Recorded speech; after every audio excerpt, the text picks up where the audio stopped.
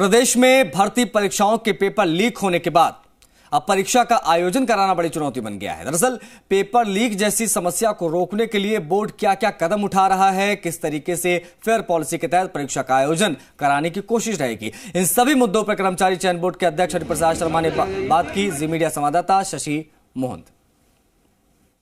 अभी common entrance test, जिसमें 11 लाख तीस हज़ार से ज़्यादा अभ्यर्थी बैठेंगे, वो परीक्षा सिर पर है। जनवरी के पहले सप्ताह में होने वाली परीक्षा की कैसी तैयारियाँ हैं, इस पर बात करने के लिए हमारे साथ हैं कर्मचारी चयन बोर्ड के अध्यक्ष हरिप्रसाद शर्मा जी, उनसे बात करते हैं।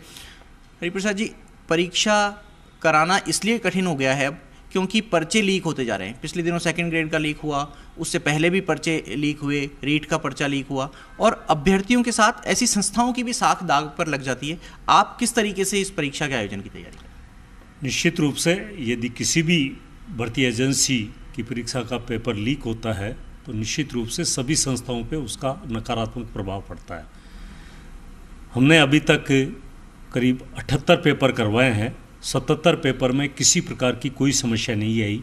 एक वन रक्षक का पेपर ऐसा था, एक पारी का, जिसमें से एक सेंटर से गड़बड़ी होने की संभावना हुई और जहाँ से कुछ क्वेश्चंस के आंसर व्हाट्सएप पे भेजे गए। यद्यपि वो चार और पाँच अभ्यर्थियों के पास ही पहुँचे थे, लेकिन इसके बावजूद भी बोर्ड की निष्पक्षता को बनाए रखने के लिए हमने उस पे परीक्षा के पेपर को निरस्त कर दिया और वो दोबारा हमने सकुशल 11 दिसंबर को आयोजित करवा ली।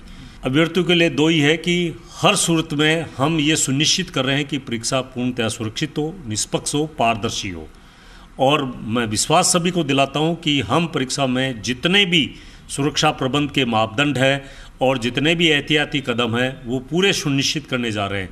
इसीलिए लोग अफवाहों के नहीं आए, किसी माफियाओं के या किसी बदमाशों के बहकाव में, ठग और बेईमानों के बहकावे में नहीं आए। परीक्षा पूर्णतः निष्पक्ष होगी, ईमानदारी के साथ संपन्न होगी। ये इस पर पूर्ण भरोसा रखें।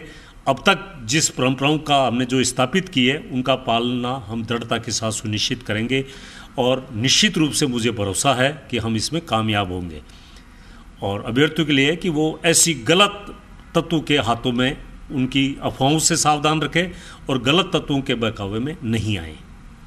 तो ये हैं हरिप्रसाद शर्मा, जो कह रहे हैं कि अभ्यर्थियों को खुद भी सावचेत रहना होगा, जो गलत अनफेयर मीन्स से परीक्षा पास कराने का झांसा देने वाले लोग हैं, उनके चंगुल से दूर रहना होगा और खुद अभ्यर्थियों को ये आश्वस्त भी कर रहे हैं कि परीक्षा में पूरी पारदर्शिता बरती जाएगी और पूरी तरीके से समुचित संसाधनों से फूल प्रूफ तरीके से परीक्षा आयोजित कराई जाएगी। कैमरा पर्सन राहुल सिंह के साथ शशि मोहन जी मीडिया जयपुर।